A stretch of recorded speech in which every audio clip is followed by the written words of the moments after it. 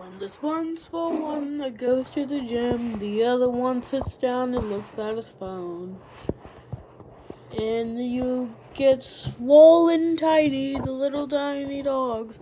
One is big, one is tiny, one is buff, one is something at least. With the little helper to give one of them fit, and the other one to help him out too. Do do, I guess.